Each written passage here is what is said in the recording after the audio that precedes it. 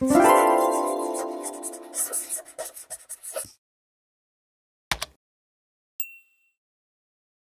I have a hyper specific problem that I want to share. There may be nobody who has this problem but me, but if someone else is out there, I'm going to help you. So uh, right now, this is the issue. If I export and add to render queue and then try to render out my comp, I get this error here. After Effects memory allocation, it exceeds the internal limits. So seems like limits. Seems like there is um, just too much going on. And I couldn't figure it out because um, it seems like a fairly straightforward render to me, but it turns out it has to do with one of the effects on my comp. So if I go back to my oh, go back to my comp here, grab it and hit F3 on my keyboard, I'll see the effect controls group.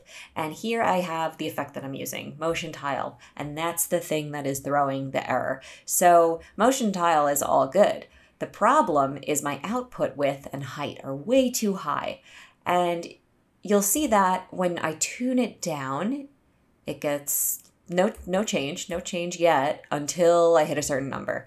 And this is how it imported or it this is how it looked in the beginning when I applied the effect. And I had to bump it up, but when I bumped it up, I bumped it up as far as I could because who cares, right? Well, that was the problem. It was the render was calculating everything, even stuff that you couldn't see uh, in the comp. So these numbers being high, they were contributing to that error. So if I take them down, not too much, just enough to cover the transparency, we should be good. Now let's test it out. File, export, add to render queue, render, and right off the bat, this is looking much better. So that's all you have to do. If you're getting that error and you have motion tile on your comp, that's probably what's going on.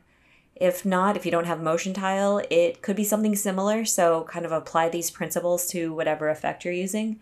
And I really hope that uh, this helped you guys. I have a lot of videos in uh, After Effects and all sorts of Adobe products, so please check those out. And um, thanks so much for watching. It looks like this is going to render, so if you stuck with me, you'll know that I had a successful render. Perfect. Nailed it.